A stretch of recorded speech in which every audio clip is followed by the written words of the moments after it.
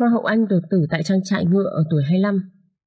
Truyền thông Anh mới đây đưa tin Hoa hậu Jessica Whaley, 25 tuổi, không may qua đời do đột tử tại trang trại đua ngựa Manor House Stables ngày 28 tháng 3. Khi cựu Hoa hậu Jessica Wallay ngã quỵ, những người chứng kiến đã ngay lập tức gọi lực lượng y tế khẩn cấp đến. Tuy nhiên, nàng hậu 25 tuổi đã tử vong ngay tại hiện trường. Jessica Wiley giữ vai trò là người điều phối hoạt động vận chuyển ngựa tại trang trại ngựa đua Manor House Stables thuộc sở hữu của cựu cầu thủ người Anh Michael Owen.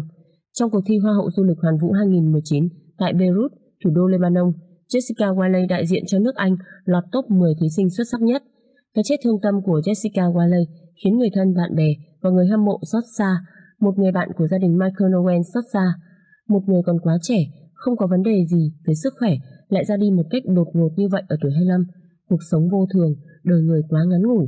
Giám đốc điều hành của Hiệp hội dành cho nhân viên làm trong ngành đua ngựa George Margaret cũng đã dành những lời thương tiếc đến nàng hậu vắn số.